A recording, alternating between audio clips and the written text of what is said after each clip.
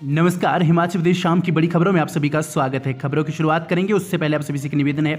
अभी तक आपने हमारे चैनल को सब्सक्राइब नहीं किया है तो कृपया करके हिमाचल की हर ताज़ा खबर पाने के लिए भी सब्सक्राइब ज़रूर कर दें। हिमाचल प्रदेश में न्यू गाइडलाइन जारी की गई है। आपको बताते चलें कि अब पाँच वर्ष से कम उम्र के बच्चों को जो है मास्क ना पहनने की सलाह दी गई है। और साथ में ये कहा गया है कि अगर पाँच वर्ष से कम उम्र के बच्चों को जो है मास्क का उपयोग किया जाएगा तो ये उनके लिए घातक सिद्ध हो सकता है। तो अब आपके भी आस पड़ोस में या आपके घर में पाँच वर्ष से कम उम्र के बच्चों को मास्क का उपयोग करवाया जाता है तो आप उन्हें जो है, वो जागरूक करें कि पाँच वर्ष से उम्र के बच्चों को जो है, यहाँ पर मास्क का उपयोग ना करवाया जाए। साथ में ये गाइडलाइंस भी जारी की गई है कि पाँच वर्ष से कम उम्र के बच्चों को जो है, वो भीड़ वाले इलाकों से जो है, वो दूर रखा जाए। वहीं हिमाचल प्रदेश की बात करें तो शिक्षा विभाग अब ऑनलाइन परीक्षाएँ लेने की तैयारी में जुट गया है। इस बार आपको पता चले कि कोविड के कारण प्री बोर्ड की परीक्षाएँ भी नहीं होंगी।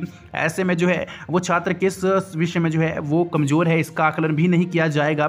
तो ऐसे में यहाँ पर जो है ऑनलाइन परीक्षाएँ लेने की तैयारी में जो है वो शिक्षा विभाग जुट गया है, क्योंकि छब्बीस से भी आपको बताते चले कि शिक्षण विभाग जो संस्थान है, उनको बंद रखने की भी यहाँ पे जो है वो तैयारी शिक्षा विभाग कर रहा है, ऐसे प्रस्ताव तैयार किए गए हैं। या फिर जो नौवीं से बारहवीं कक्षा के विद्यार्थी उनको स्कूल बुलाया जा सकता है। कुछ दो प्रस्ताव ये तैयार किए गए हैं। अब इस पर अंतिम मोहर लगनी है, परंतु उससे पहले जो है वो ऑनलाइन परीक्षाएँ ही कंडक्ट करवाने की जो है वो तैयारी में शिक्षा विभाग जुट गया परंतु ये कॉलेज के लिए बता देता चाहता हूँ कि कॉलेज के लिए अभी लागू नहीं होगा, क्योंकि कॉलेज में जो है एच ने पहले ही कहा था कि एच प्रबंधन की ओर से कहा गया था कि हालाँकि किसी भी यहाँ पर स्थिति में जो है वो कॉलेज में परीक्षाएँ करवाई जाएँगी।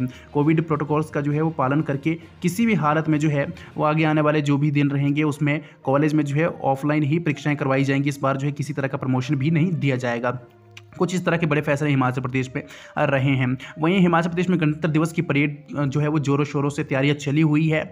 सभी जगहों पर जो है वो जोरों शोरों से एनसीसी कैडेट्स हों, होमगार्ड्स हों या पुलिस दल हो, सभी जो है वो जोरों शोरों से इसका जो है यहाँ पर तैयारी कर रहे हैं। तो आगे आने वाले दिनों में आपको बताते चले कि पच्चीस जनवरी को मुख्यमंत्री जयराम ठाकुर जो है वो बड़े ऐलान करने वाले हैं। ओपीएस से संबंधित ये कुछ रहा है, इसमें साथ में आउटसोर्स से संबंधित भी यहाँ पर बड़े ऐलान रहने वाले हैं।